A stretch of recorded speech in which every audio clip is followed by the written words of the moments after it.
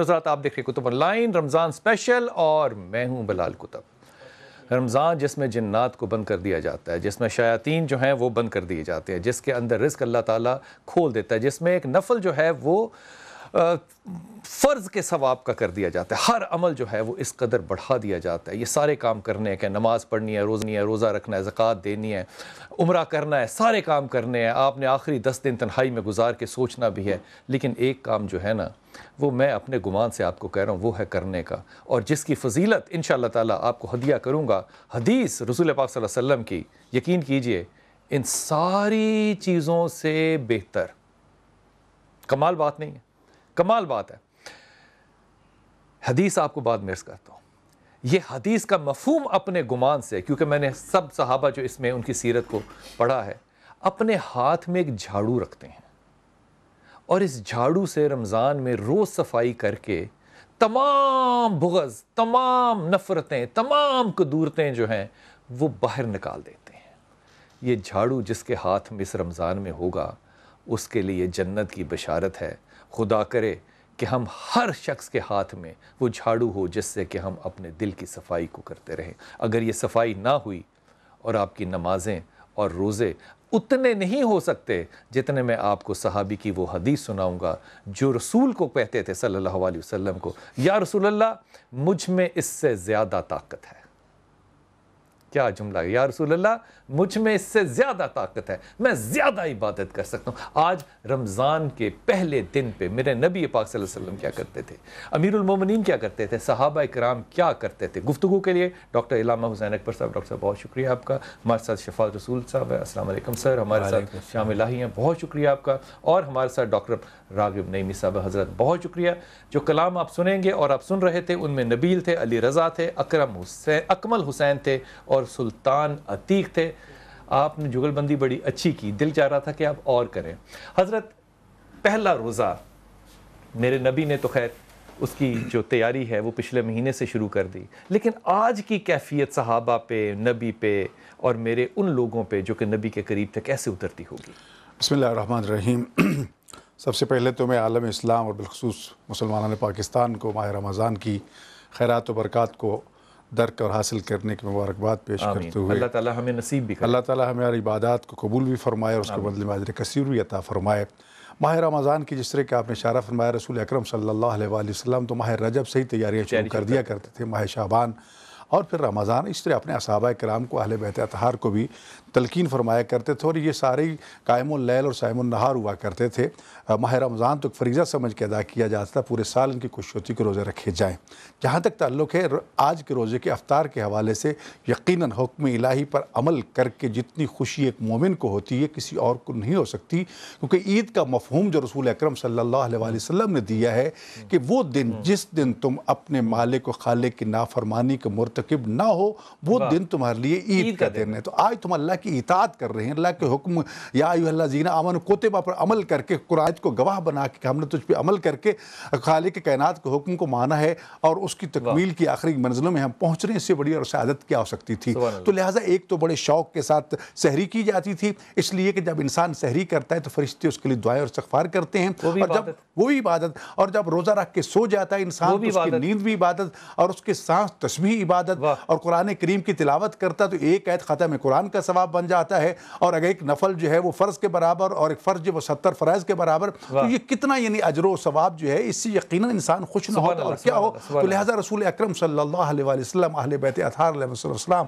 साहब कराम उसके अफ्तार की भी पूरी तैयारी किया करते थे क्योंकि अफ्तार जो है रोज़े की फ़र्जियत का फ़लसफ़ा हज़रत ज़हरा सलाम ने यह बयान फरमाया था ताकि इंसान के अंदर खलूस जो है वो साबित और पुख्ता हो जाए क्योंकि रब को हम कहते तो है देख रहे हैं लेकिन हमारे अमल उसकी नफ़ी कर रहे होते हैं। रोज़ा हमें उसको अमली तौर पर लेके चलता है। लिहाजा रोज़ा जो है इतनी शान व शौकत और एहतराम के साथ अफ्तार किया जाता था। साहबा कराम दुआएँ मांगते थे इसलिए कि रोज़ेदार मुस्तजाब दावत हो जाता है। लिहाजा दुआएँ भी माँगता था और दुआएँ कबूल भी होती थी। इससे बड़ा एजाज़ किसी भाई आपकी तरफ़ आऊँगा। ये इबादत है ये अकीदत है ये मोहब्बत है ये अदब है ये सब बातें अपनी जगह।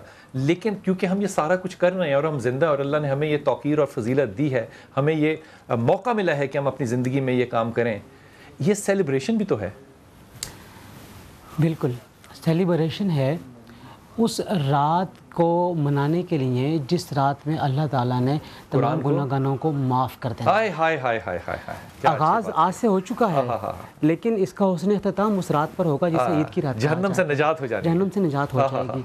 तो अगर जिस आदमी को पता हो कि मेरी जहन्नुम से निजात हो जानी है तो उसके लिए सेलिब्रेशन ही है और आगाज़ से ही। है लेकिन वो सेलिब्रेशन वैसी नहीं होगी वो हदूद कयूद के अंदर रहते हुए वो, वो, वो वैसी नहीं होगी जैसी हम अपने सकाफती तौर पे ख्याल ले, ख्याल में लेकर आते हैं. या जो आम तौर पे लोग ख्याल करते हैं वो सेलिब्रेशन लेकिन वो लज्जत ख़त्म होने वाली होती है ये ना ख़त्म होने वाली है। ये ये शहरी के आगाज़ से होगी ये रात के क़्याम से होगी ये इफ्तारी के साथ होगी।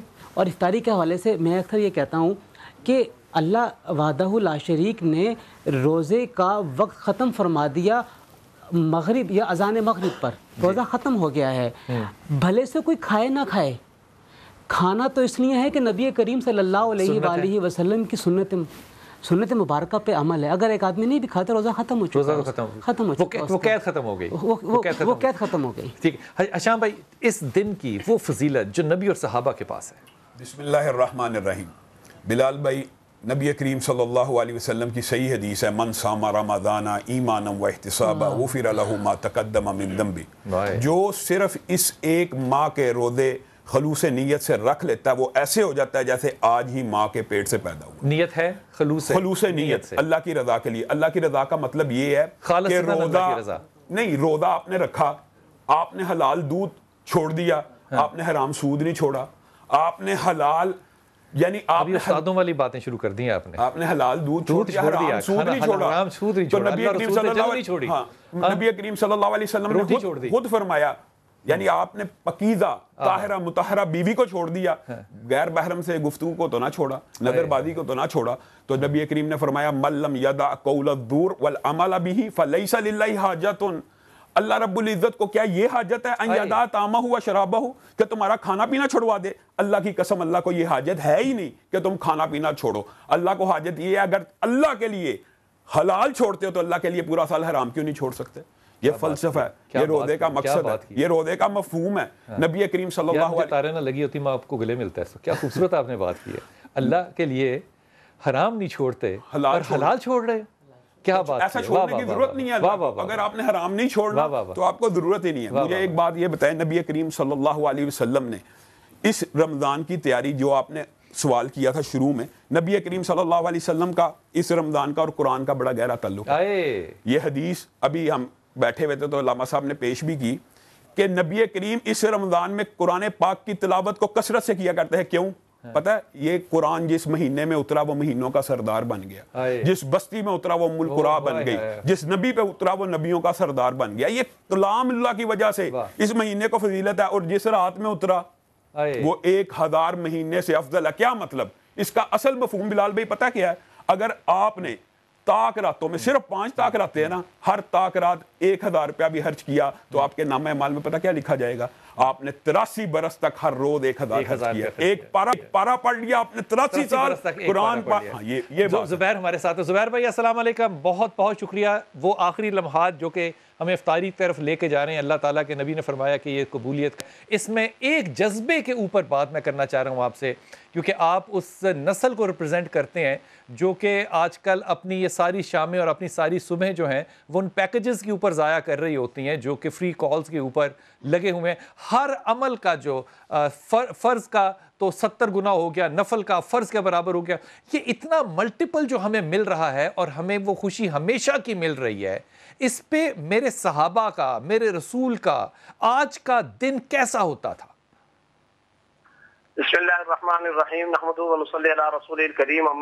सबसे पहली बात तो ये है कि सहाबा का रसूलुल्लाह सल्लल्लाहु अलैहि वसल्लम का नक्शा खींचते हुए इमाम मालिक रहमतुल्लाह ने फरमाया हुआ शाहरुल कुरान ला कलाम फीही इल्ला माल कुरान अल्लाह वाह ये कुरान का महीना है इसमें कोई बातचीत नहीं होगी मगर कुरान के साथ बातचीत होगी।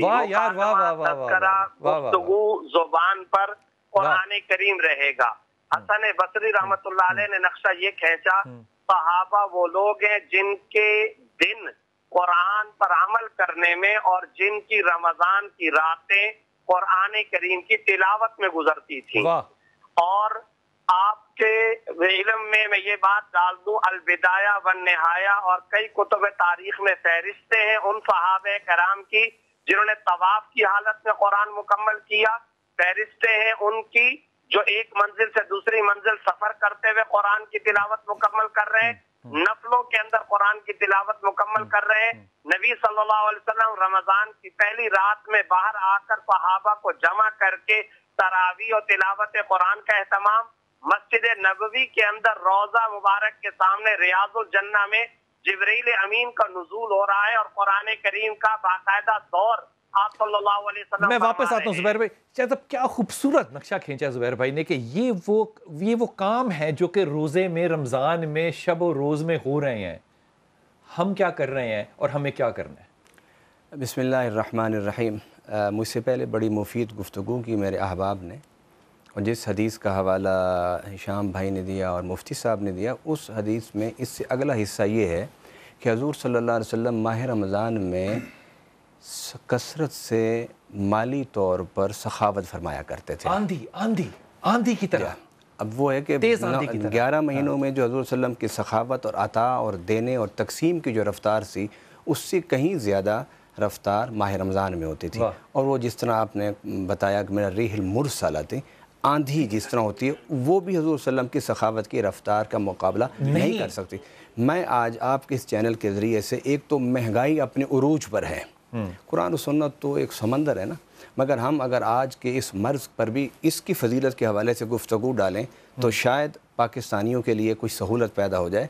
जिस पैगंबर ने अपने रमज़ान के शुरू के लम्हात से आखिरी लम्हात तक अपनी उम्मत को ये दर्ज दिया हो कि इतनी ज़्यादा रफ्तार से सखावत करनी है इतना कुछ बांटना है कि तुम्हारे देने की जो रफ्तार है उसके मुकाबले में तेज़ हवाओं का जो तूफ़ानी रफ्तार है वो, वो भी कम भी हो, कम हो जाए।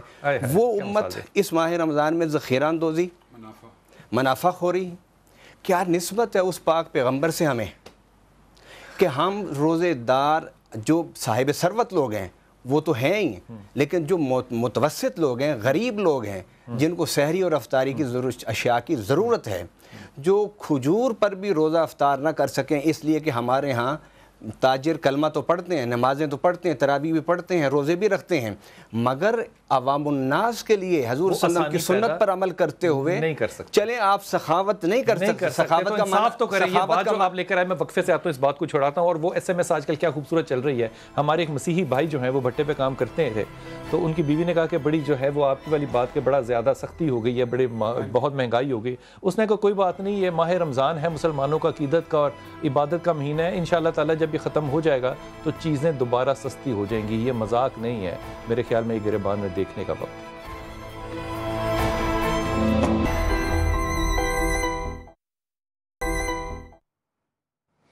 शाह साहब आपसे जो मैं ज़िक्र कर रहा था शुरू में कि झाड़ू होना चाहिए सबके पास और दिल को साफ़ करना चाहिए वो सहाबी जो कि बैठे थे रसूल पाक वसल्लम के पास अंसार आए और वो बुज़ुर्ग थे उनके हाथ में जूती थी और दाढ़ी में वज़ू का पानी था। पहले दिन आए तो रसूल पाक वसल्लम ने उनको देख के कहा कि जन्नती है। ये वक्त वाक़ दूसरे दिन भी हुआ, जन्नती है। तीसरे दिन भी हुआ, जन्नती है। एक सहाबी वहाँ बैठे थे और उनका नाम था हज़रत अब्दुल्ला अमर बिनास इस सहाबी की सीरत बयान कर दूँ पहले इससे कि ये आपको वाक़ करूँ, ये वो शख्स थे जो सारी रात खड़े होकर इबादत करते थे जो सारा दिन मुसलसल रोज़ा रखते थे और सुबह से मगरब तक रोज़ एक कुरान हकीम ख़त्म करते थे। तो इन्होंने सोचा शाह साहब इन्होंने कहा कि ये कौन सा शख्स है जो मुझसे भी ज़्यादा मदीने में इबादत करता है? कौन सा अमल कौन सा अमल है? मैं भी जाके देखूँ। ये उनके पास गए और उनसे जाके कहा कि मेरे वाले साहब से मेरे ताल्लुका ठीक नहीं है तो मुझे ज़रा घर में रहने की इजाज़त दें। मुख्तसर कर रहा हूँ। उन्होंने देखा कि रोज़ वो सहाबी जब आते हैं तो वो इशा पढ़ते हैं उसके बाद ना नफल ना कोई वजीफ़ा ना चिल्ला ना लेना ना देना वो करवट लेते हैं सो जाते हैं फजर पे उठते हैं। ये वो ज़माना है जहन में रखिएगा कि मुनाफिक भी डरते हुए तहजद पढ़ता था कि कहीं मेरे मुनाफिक होने का इल्म ना हो जाए। तीन दिन वो देखते रहे कि ये शख्स क्या कर रहा है। उन्होंने कहा कमाल बात है। तीसरे दिन उन्होंने कहा कि हज़रत मेरे वालिद नाराज़ नहीं थे मैंने आपसे बहाना किया था। मेरी ये इबादत है आप तो कुछ भी नहीं करते। आप पे मेरा रसूल जो कह रहा है वो कह तो सच रहा है ना लेकिन वो बात जुड़ नहीं रही मुझे नज़र नहीं आ रही। इस मामले पे उन्होंने एक जुमला फरमाया। उन्होंने कहा मेरी इबादत तेरे जितनी नहीं है लेकिन मेरे दिल में किसी के लिए नफरत और बुगज नहीं है। रात को सोने से पहले सबको माफ़ कर सबको माफ़ करता हूँ। ये झाड़ू जो है ये इतना बड़ा काम है। हजूर इस रमज़ान के अंदर मैं और आप वो अमल क्या करें जिससे हमारी वो बख्शिश हो जो कि अल्लाह को मतलूब है? अल्लाह ताला अपने बंदे से ये इरशाद फरमाता है कि जब तू मुझसे अपने गुनाहों की माफ़ी माँगता है और मेरे बंदों को माफ़ करने को तैयार नहीं होता। किस मुँह से मुझसे माफ़ी माँगता है? किस मुँह से माफ़ी माँगता है? तो चाहिए तो ये कि अगर हम अल्लाह से माफ़ी मांगना चाहते हैं तो पहले माफ़ तो कर पहले दें। उसके सारे बंदों को माफ़ कर दें उनकी ख़ताओं से दरगुजर करें और फिर रब कायनात के हजूर जब ताला में मफ़रत करेंगे तो फिर सिर्फ़ हम नहीं करेंगे जैसे कि पहले मैंने अर्ज़ किया कि फरिश्तेगान रहमत जो हैं वो भी उसके लिए ताला में मफ़रत करते हैं और फरिश्ते दुआ कर रहे हैं कि अल्लाह इसको माफ़ कर दे। तो कैसे हो सकता है कि अल्लाह ताला माफ़ ना फरमाए? पहले इबाद पहले हकूक़ुल इबाद और फिर जो सूरत हाल है रोज़ा की रोज़ा तो हमें हकूक़ुल इबाद ही की तरफ़ मुतवजह करता है कि भूख और प्यास का अगर तुम्हें दूसरों को देख के एहसास नहीं होता तो बर्दाश्त करके एहसास पैदा कर लो। और फिर अगर तुम्हें खुदावंद मुताल के साथ वो मुखलसाना रबता और ताल्लुक़ जो है वो कैम नहीं कर पा रहे तो रोज़े के साथ कर लो कि जब पानी के लिए हाथ बढ़ाओगे हो अल्लाह देख रहा है अभी भूख लगी है खाने को मौजूद नहीं अल्लाह देख रहा है। तो ये जो हलाल पे अल्लाह देख रहा है। हलाल पे अल्लाह देख रहा है तो जब। हलाल पे अल्लाह देखता है तो हराम के लिए क्यों नहीं। तो यकीन ये मुसलसल एक तरबियत और जो खुदावंद मुताल की तरफ़ से एहतमाम किया गया है आखिर में नतीजा क्या है? लाल्लाकुम तत्तकून ताकि तुम अल्लाह की नाफरमानी से बचने क्या बात है क्या बात को बचाने वाले वाह वाह वाह। ये नतीजा लेना जुबैर भाई खुदा को आखिर मतलूब क्या है? इस रोज़े से मेरी भूख प्यास मतलूब है? क्या मतलूब है? तकवा मकसूद है। वाह। और सूरह बकरा के अंदर यही फरमाया कि रोजा इसीलिए फ़र्ज़ किया गया ताकि तुम्हारे दिल में खशियत खुदाबंदी और खौफ खुदा पैदा हो। और जैसा कि ये बात आई है कि अगर हम चाहते हैं अल्लाह हम पर रहमत का मामला करे बख्शिश और मफरत का मामला करे तो उसके लिए नुस्खा यही है इरहमु मन फिल अर्द को मन फिस समा। तुम ज़मीन वालों पर रहम करो आसमान वाला तुम पर रहम करेगा। अच्छा हम रमज़ान के बारे में कहते हैं अव्वल रहमा। रमज़ान का पहला अशर और आज पहला दिन ये रहमत का है। तो सवाल ये कि रमज़ान ने तो हमारा इस्तकबाल रहमत के साथ किया हमने रमज़ान का इस्तकबाल कैसे किया? वाह वाह वाह। बहुत अच्छी बात। मोहल्ला दफ्तर दुकान फैक्ट्री कचहरी मंडी बाज़ार मार्केट ठेले और रेड़े पर रहमत का बिहेवियर नज़र आना चाहिए। चौरंगियों सड़कों सिग्नल पर वो बिहेवियर नज़र आना चाहिए। जुबैर भाई आपका पैगाम पहुँच गया। शफात भाई वो बिहेवियर नज़र आना चाहिए। इसी हदीस को जिसमें नबी पाक सल्लल्लाहु अलैहि वसल्लम के मामूलात का ज़िक्र है ये बुखारी शरीफ की हदीस है बड़ी इख्तिसार के साथ। उसमें नबी पाक सल्लल्लाहु अलैहि वसल्लम ने हुकूकुल्लाह का ज़िक्र भी किया। नमाज़ रो नमाज़ पढ़ें आप नफल पढ़ें कुरान की तिलावत करें रात की शब्बेदारी करें। लेकिन उसके साथ साथ हजूर वसल्लम ने इस रमज़ान के मामूलत में हुकूकुल इबाद पर भी पूरी तवज्जो दिलाई। मैं हैरान हूँ कि हमारे यहाँ जो ताजर तबका है वो रातों को जाग के इबादत तो करता है शहरी और रफ्तारी पुरतकल्लुफ़ करता है। लंगर चलाता है मगर उसके दिल में गरीब आवाम के लिए और महँगाई के तले पिसी हुई आवाम के लिए क्यों नहीं रहम पैदा होता कि वो इस खाने पीने की चीज़ों को गिरान नफ़े की बजाय खुदा की कसम ये, ये मुझे ईमानदारी से ना दिल से जवाब देना आपने याद किया हुआ जवाब नहीं देना ये दिल नरम क्यों नहीं होता? दिल नरम इसलिए नहीं हो रहे कि इंसान मादा परस्त है हो गया है। अगर मादियत मैं, मैं आपको एक बात बताता हूँ बिलाल भाई रोदे का जो मकसद है वो क्या है? कि इंसान मादियत से बाहर आके रूहानियत की तरफ़ कदम रखे। मैं आपको एक बात कहना चाहता हूँ कि इस रोदे क्या सिर्फ़ अजर स्वाब के हवाले से।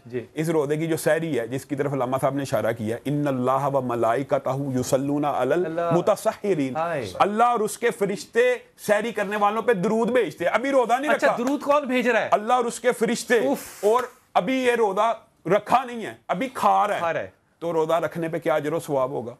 अगर नफल कोई बंदा रोदा रखे सही हदीस है नफली रोदे का अजर स्वाब पता क्या है? सत्तर बरस उससे जहन्नुम दूर कर दी जाती है। तो जो 70 फर्जी किसी को नहीं पता जो जो फर्जी रोदा रखेगा उसका क्या अजर स्वाब होगा? मैं सिर्फ़ एक हदीस आपको बयान करना चाहता हूँ वो ये है कि फरिश्ते जब रोदा रोदेदार अफ्तारी कर रहा होता है ना तो फरिश्ते अल्लाह की तरफ़ अमाल लेके उठते हैं। अल्लाह बताइए आपने वो नेकी को दस से मल्टीप्लाई किया उस नेकी को सौ से किया उसको सात सौ से किया इसको किससे मल्टीप्लाई करना है? तो अल्लाह रब्बुल इज़्ज़त कहते हैं असौमुली व अनाजी भी ये रोजा मेरे लिए, मेरे है। लिए है। इसको सिर्फ़ एक रोजा लिख दो इसकी जदा मैं, मैं दूँगा। और मुहदसिन ने लिखा इसकी एक जदा ये होगी कि कल क्यामत के दिन रोजेदारों के सामने से अल्लाह रब्बुल इज़्ज़त अपने चेहरे से हिजाबों को उठा देगा। और जन्नती अपने रब को ऐसे देखेंगे जिस तरह चौदहवीं के चाँद को देखते हैं। राके भाई मुझे लगता है ईमानदारी से कह रहे दिल, दिल, दिल से ये कह रहा हूँ बात मुझे लगता है कि हमारे लिए ना नफ़ा ज़रूरी है सवाब ज़रूरी नहीं है। दिल तो कहता है कि कहूँ हाँ कहना बनता नहीं है। देखिए नफ़ा जो है वो हमारे सवाब भी नफ़ा है। नहीं आपकी बात बजा है सवाब भी नफ़ा है। लेकिन अगर हम नफ़े की बात करते हैं तो नफ़ा आता है हमारे दुनिया के कामों के अंदर नफ़े को हम उस तरह लेके जाते हैं। लेकिन सवाब का ताल्लुक आता है हमारे उन आमाल हसना के ऊपर जिसका ताल्लुक ख़ास तौर पे अल्लाह और अल्लाह के मखलूक के साथ है। और जब हम रमज़ान की बात करते हैं हदीस इस्तबाल शाबान में नबी करीम ने फरमाया दो बातें बड़ी अहम हैं इस महीने के हवाले से। हुआ शाहरुसबरी ये सब्र का महीना है और सब्र का बदला जन्नत है। हम्म। सब्र का बदला जन्नत है। और आपने फरमाया शाहरुल मवासात यह गमखारी का महीना है। गमखारी का गमखारी ख़त्म होकर रह गई है बिलाल भाई। गम खारी का महीना है अल्लाह के नबी पुकार पुकार के ये कह रहे हैं साहब कराम से कि गम खारी का महीना है गम खारी करो सब्र का महीना है सब्र का बताइएगा क्या है? गम खारी का मतलब ये है कि दूसरे के गम के अंदर आप भी बराबर के शरीक हो जाए। उसके गम को उठा लें। उसके गम को उठा लें। उसके गम को ख़त्म करने की कोशिश करें। ये गम खारी का महीना है और हम देखें कि हम कितनी गम खारी करते हैं। नबी करीम सल्लल्लाहु ने बकायदा एक हदीस बयान किया कि रोज़ा तो तुम रख रहे हो तुम अजर स्वाब के लिए रख रहे हो। हम्म। तो अगर सिर्फ़ तुम किसी भूखे को खाना देना वो हम्म। पूरे रोज़े का अजर तुम्हें भी मिल जाएगा। गम खारी का मतलब यह है गम बांटा जाए। उसका कर्जा समझा जाए जक़ात क्यों है? इस महीने में लोग जक़ात अदा तो करते हैं लेकिन ये महीना है ही जक़ात का महीना ताकि लोगों की मदद की गम खारी हमारे यहाँ जक़ात तो देते हैं लेकिन जक़ात देने के लिए ज़रूरी है कि माल भी तो हलाल हो ना। अच्छा नामुमकिन बात करके ना आप को